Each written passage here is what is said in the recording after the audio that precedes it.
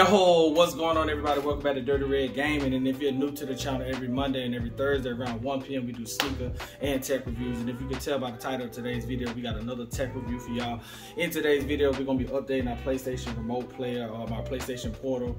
Um, last week, I wanna say June 18th, they released an update to the 3.0 um, software for this portal or whatever and um, I want to see what new features I haven't updated it yet so we're going to walk through the process of how it looks to get it updated from the 2.06 I think to the 3.0 update. We're going to see what new features it comes with. I heard it's some pretty good features. It should be the best update that they got for it so I don't want to hold y'all up man. Let's go ahead and get to the video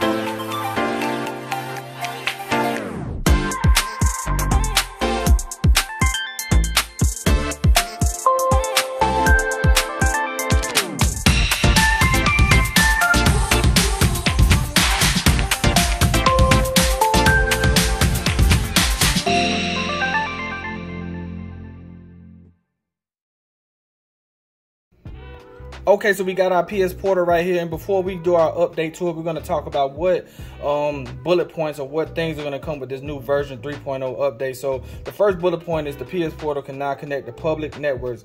If there's a public network available in places such as like hotels, cafes, and airports, you can connect your PS Portal to the Wi-Fi, entering the required information such as like an ID password and room number, using your phone or a computer. It says to connect to public networks, make sure that the initial setup for your PS Portal is completed to comply with for various countries and regions. The PS Portal might not support connections to certain public networks, such as five gigahertz um, networks. It says when you and um, for me, I think that's kind of useful. Um, I wouldn't recommend it because of the speed of ho hotels and airports. A lot of people are connected to it. I don't think you would get the best usage out of it by connecting it. I prefer to use my hotspot, but if you don't have it and you want to connect it to your uh, hotel or something like that, and you have a room key or they give you a password that you need to use, or if you're at work and you want to connect it to your work um, Wi-Fi, now this this update will give you the ability to connect to other uh, public uh, Wi-Fi networks, but it's only based on 5G or uh, 5 gigahertz uh, network. So whatever um, connection that you're going to be connected to, it has to have five gigahertz. I've looked at other reviews. I've seen other people speak on this, and they said that it's hit or miss. But for me, I always use my um, hotspot anyway, so it doesn't really matter. But it's not a, a, a, hit or miss because you didn't have it anyway before. So this is an update that's going to probably keep updating and give you better network and connection stability. So nonetheless, the next bullet point it says you use the touchpad area on the screen during remote play, and you'll see new um, visual feedback. So when you're using the touchpad, we will see once we do the update, it'll have visual um, feedback on that. So I think that's going to be pretty cool. Uh, the last bullet point they have is that your uh, PS Portal can now display the remaining battle, battery level as a percentage on the status bar at the top right of the screen. It just says to open the quick menu, go to settings, system, battery, and then turn on the show battery percentage. It says they've improved system software performance and stability, and they've improved the message and usage stability on the screen. So pretty much it tells you how to update your uh, PlayStation Portal. I'm gonna go ahead and turn mine on, power it up, we're gonna get it updated. So let's go. Okay, so we got our remote player plugged up. Um, I need to charge it up. I haven't used it in a while. We're gonna turn the power button on. And as you can see, you push the PS button to unlock. If you look right here, it does not have a battery percentage or a number or anything. I think that little blue dot right there tells me that I have a, a update in the settings. You see the little blue dot in the settings. And yes, it says you have a update system software. So we're gonna back out of that.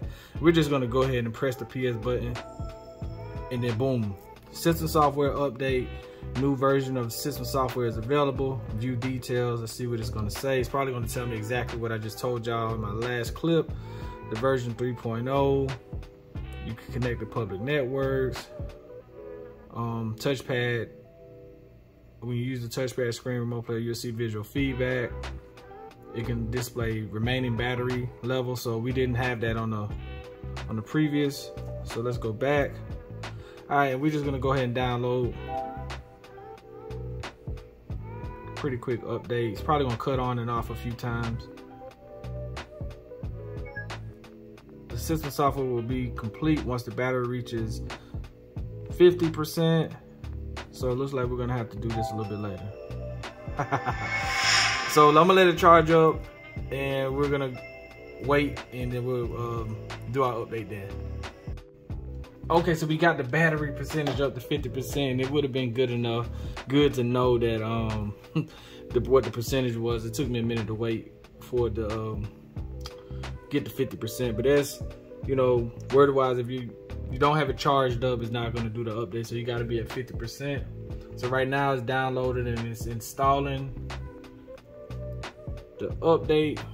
We're going to take a look at it and see, you know, what happens or things of that nature. Should power off a few times. It says don't turn off your device. So I got it still plugged up.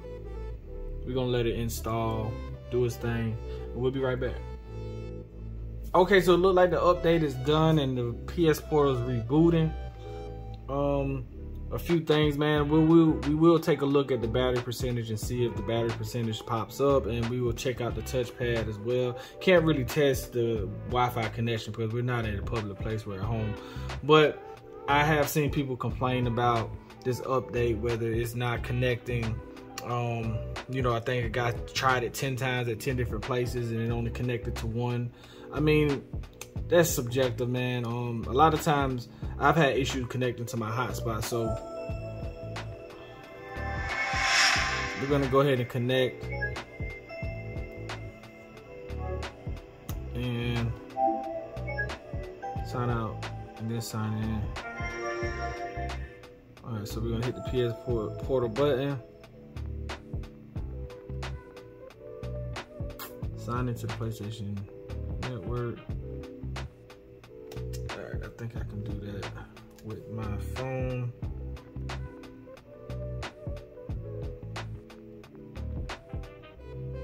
PS app, approve. I'm all set. We signed in. They said me welcome. We want to tap the play. And I was playing 2K. So, all right, so there you see the um, the touchpad. See how it's so that works. and battery percentage.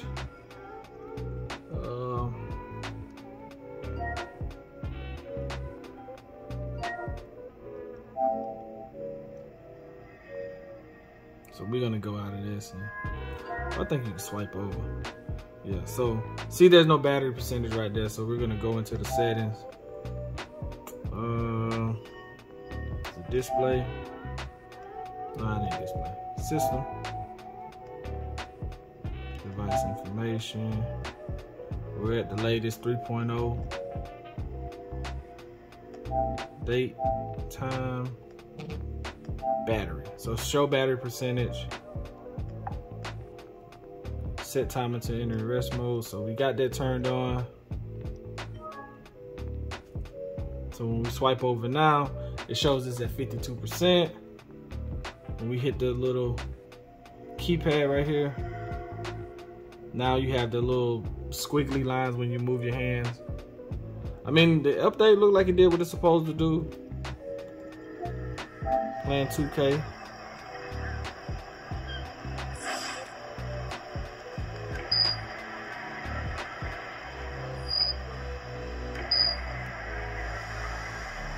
I mean, that's pretty much it. I mean, that's the update. Nothing special about it. you have the 3.0.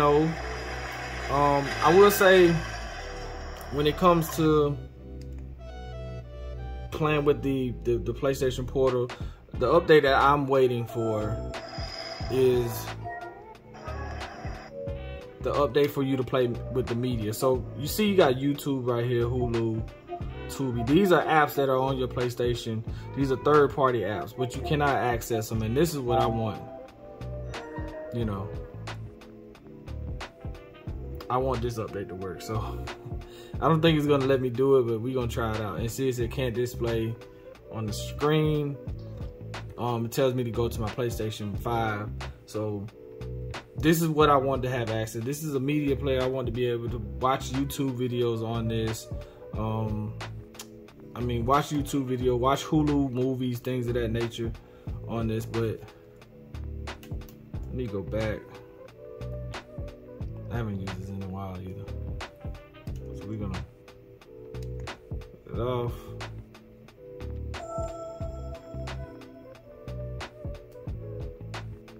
Nonetheless, we'll leave that right there. Because it's telling me to go to do it on the game.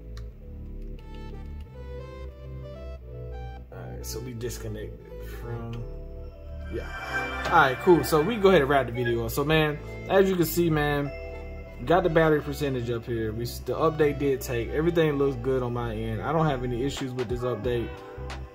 Um, until I go to a public place and use it. Right now, I'm okay with it. So we're gonna go ahead and power it off, man. It's Dirty Red Game. I want to thank y'all for tuning in to today's video. Make sure to like, comment, and subscribe. And I'm out.